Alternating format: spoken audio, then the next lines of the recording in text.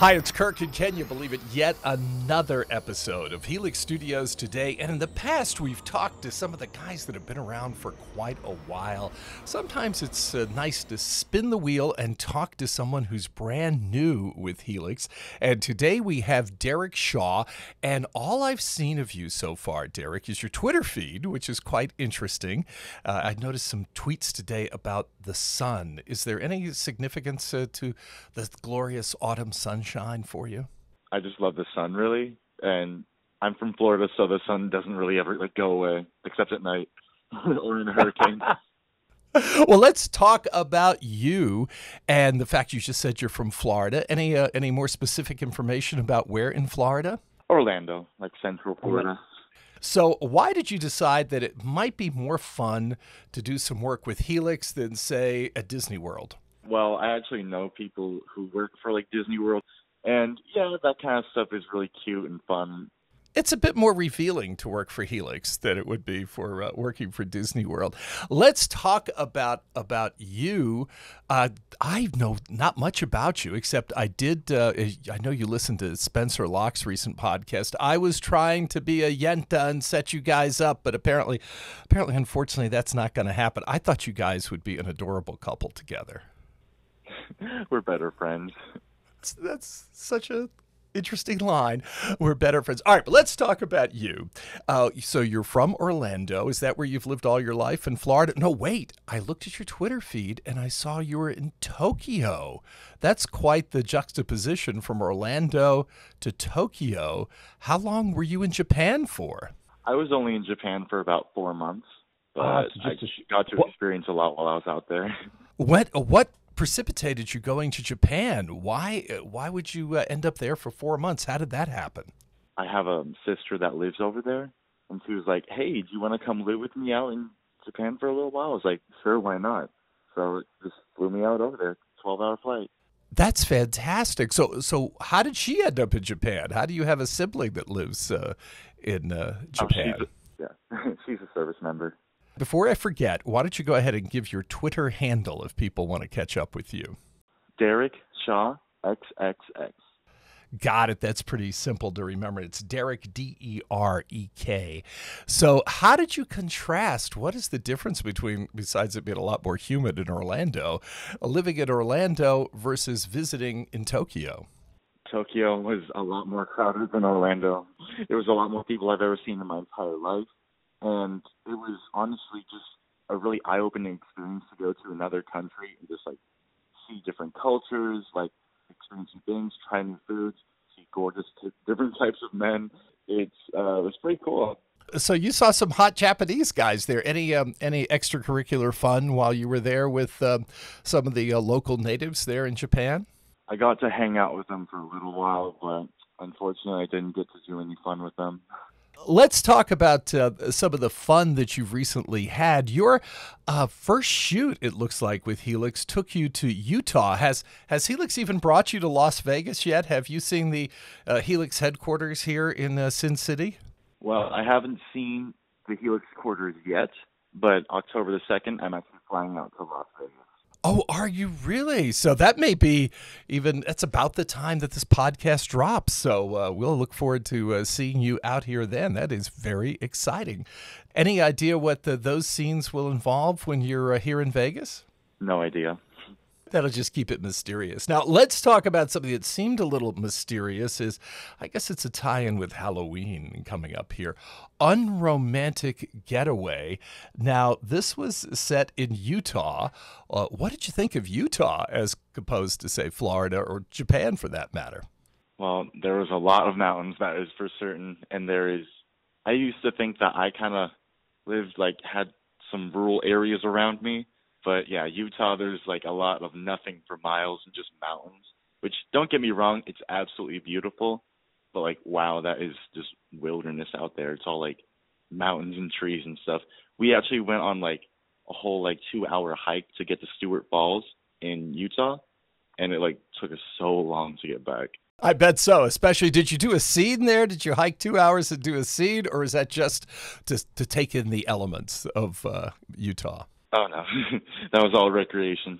All right, well, let's talk about this. I've just seen the trailer for it. I, as we're recording, the scenes haven't dropped yet, but it seems like you're the owner of this luxurious cabin. And will you take it from there? Can you explain what the plot elements are of this? Uh, I assume it's going to be a five part series about this unromantic getaway. I play the part of this caretaker for this really large cabin, as we know. But um, I kind of like stop in every once in a while but essentially it's about this couple that's on like a little getaway, so like time for themselves, but one of them doesn't want other people to know about like their relationship. The other partner's friends tracks them down and finds them there and decides to interrupt their whole weekend. And the, all the while, I'm popping in every once in a while. Who uh, were your scenes with for uh, the shoot? My scenes were with Aaron Roberts and uh, Asher Hayes. Now, I've heard nothing but good things about Asher. How was the uh, chemistry with him? Like, we had really great chemistry. We got along really well. We actually were cracking up some jokes in between sets and stuff. But yeah, honestly, like we're better, we're good friends. Like a lot of people say, like, oh, why you get like I'm pretty sure he has a boyfriend already. Ah, we're good friends. I looked at your Twitter feed and and oh my gosh, those shots and they weren't they were like uh, safe for work shots. I didn't go deep enough. I, I haven't found any uh, not safe for work shots on your Twitter feed. Are, are, there any there, or can fans expect to see some in the future, or what's the story here, Derek? Well, I've decided to not give it all away all at once. So I'm gonna I'm gonna let it simmer down and let I saw one post that say I got the job. Now I assume that wasn't the Helix job. I mean, you heard the interview I did with uh, Spencer Locke. He's incredibly busy, working a full time job, then has a carve out to do his part time erotic job with Helix. What job did you get? I got a job as a medical assistant. Did you really? Congratulate you. Be careful. You're, you're fully vaxxed, I'm sure. Yes, I am. All right, well, let's talk about you personally. That's what a lot of people want to know. We didn't even find out, you know, how old you are. How, how You've got that all American look, too. How old are you, uh, Derek? I'm 21. Uh, 21. Okay. So, uh, what made you decide? You know, you've got, I'm sure you chatted with Spencer. He like was chomping at the bit right when he turned 18 to get started. And if you haven't heard his interesting adventure of his first shoot, be sure to check out his uh, podcast. What made you decide to apply to Helix and uh, go on this journey? Honestly, it's so funny. Um, the story of how I applied. I was sitting in my room bored one night and I was like, well, because before I worked as a medical assistant, I was working fast food. I was like, wow, I'm so bored. Like, what if I just apply? And so I like I just took like some selfies with me like completely naked, and I went and applied, and I sent the email. And then 30 days later, I get an email saying like, "Hey, do you want to come to Utah?" hey, why not? Why not? And Derek, by the way, ha- have you looked in the mirror? Why why wouldn't they get back? You, I normally don't notice eye colors, but you have some of the most striking brown eyes of almost any person I've ever seen. Have other people mentioned that to you? Every once in a while, I get someone that mentions them. Thank you. No, no, you are you have got a tremendous look. And I saw you post the here again on Twitter about getting stronger at the gym. Some of the guys work out a lot, some not many, some in between, not often. How often do you hit the gym? The body like yours can't just come naturally, can it? I try to go to the gym like six days out of the week, and I go for two hours minimum. Do you consider yourself gay or do you consider yourself bi? I consider myself bi, because there's like there's someone there's a there's a woman I have a crush on, but there's mm-hmm. also like guys I have crushes on too. I mean, my gosh, when you were working fast food, uh, how did you keep the women from from hitting on you and the men, for that matter, hitting on you all day long at the restaurant? um, I wore my mask a lot. What a transition from working fast food, now a medical assistant, to working Helix. Do you have kind of a similar arrangement that Spencer does where they know at your new position that every once in a while you're just going to have to vanish for a few days? Yeah, that's actually really funny um, because before I went to that interview, I listened to the podcast with Spencer, Spencer's podcast, and he was talking about the word contracted. So I was like, oh, I can just say that. So I actually told the woman interviewing me that I had contracted work. How was it during that first scene? Is that your first uh, adventure into uh, gay adult entertainment, or had you done anything before? Honestly, that was the first ever adult film that I was ever in in my entire life. Well, from what I gather from talking to Spencer, who's also in that, you're primarily a top. Is that correct? That's correct. Wow. Well, you you kind of play the guy who is almost, at least from the trailer, a little subdued compared to the other cast members in this uh, in this five part adventure that we've got. Because you're kind of the guy that lives there out in the country. How would you describe your role?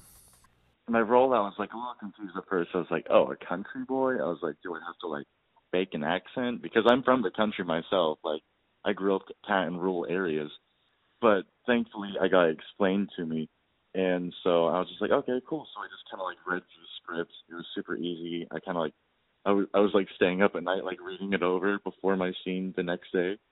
My character in this movie, he plays kind of almost like a simp. Like he's like a huge simp for like any like cute guy that like shows him affection in this movie, I believe.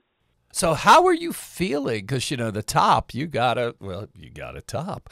Uh, how were you anxious for the scenes, or did it once start happening, it just kind of flowed and come together? And you've got, of course, Alex there, who has been referred to as the porn ninja, getting these shots. So he's doing a pretty good job making you feel comfortable there. But were you? How was your feelings and emotions shooting this scene? I was like literally shaking.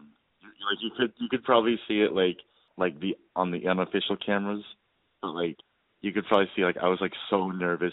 My face was um very like red in a lot of them because I was just so shy because I had never been filmed before.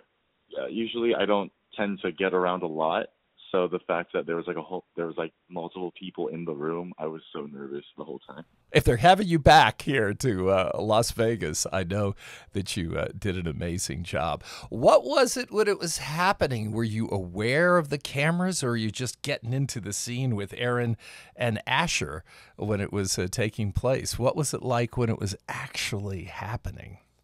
I was kind of like going into the mindset of like if I was in this situation, if I was like alone with a cute guy in this huge, like beautiful cabin out in the middle of nowhere. Like, okay, yeah, I'd get into it too. That's my, kind of like my mindset was. I was zeroing in.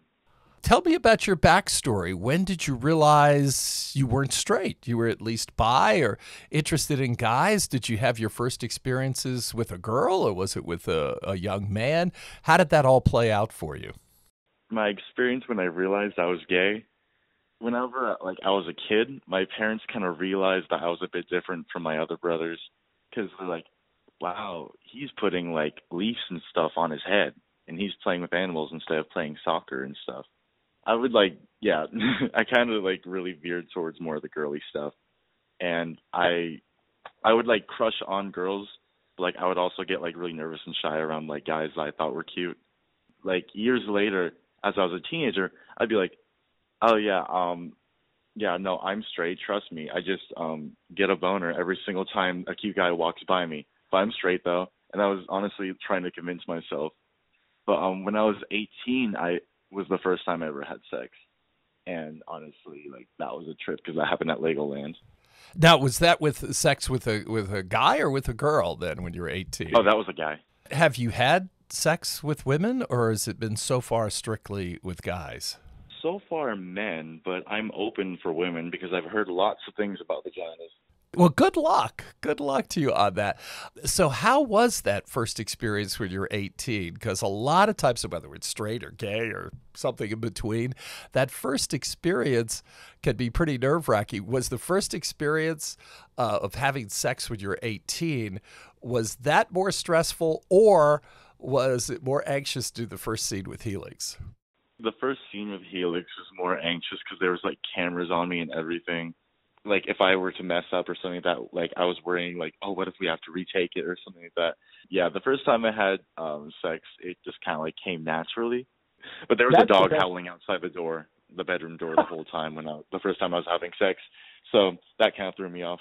Oh, that would have been good cover. Cover to have the uh, the dog out there as a top. One of the things that I would worry about, especially starting out with the anxiousness and the drama and the excitement, you did you don't have to, you didn't come too soon. Did you take any precautions to make sure you didn't come too soon with these two hot guys?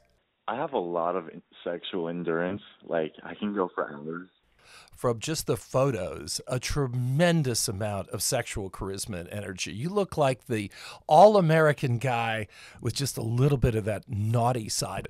When you look in the mirror, do you realize just how hot you are? Or do you see little things that you want to improve? Or maybe a combination? There is a combination because I feel as though every, everyone should always be improving themselves physically, mentally, emotionally, all that kind of stuff. But I look at myself and you know, I'd be like, you know what? If there was no improvement past this, like that wouldn't be the worst thing. But like, I would love to get like you know a little like wider shoulders or like maybe like refined abs. But it's nothing I'm insecure about you're blessed. You're blessed. And I just want young people like yourself to know how blessed you are to have that look. And I think it is so great that you're sharing that with so many people so that they can better appreciate who they are and understand their sexuality. Because, like you say, when you were growing up as a teenager, you're like, oh no, I'm straight. I'm completely straight. I think many, many, in fact, maybe most gay men, especially older gay men, went through that. That, oh no, I'm straight. And then to see somebody hot, somebody desirable like you, it really actually helps a lot of people, both men and women for that matter. Thank you. Derek, it has been so nice chatting with you. Before we go, what are your plans? So, after this first experience, uh, were you pretty pleased with the way things went with Helix? You think you'll be staying with uh, Helix for at least some time to come? I plan on staying with Helix for a long time. All right, well, we are so looking forward to see you uh, here very soon here in Las Vegas by October. It's cooled down too. Oh, I just want to admit, how did your parents and siblings react? You remember you mentioned you had brothers, so how did they react, or do they not yet know that you have been enjoying the world of Helix? well, with my mom finding out, my mom was like, "Oh my God, Derek, please don't do it," but I'm going to drive you to the airport anyway. How about your siblings? Do they know yet, or are you just going to send them a link, maybe, to the first scene? I hope not. Um, my sister knows. She's like, "Don't do that again." But physically, I can't stop you, so do whatever. Most of my yeah, my siblings don't really care, or yeah, they just don't really care. Derek, it has been so great to speak with you. And uh, anything else you'd like to add as we wrap up here? Um, no, I'm just thank you very much for having me.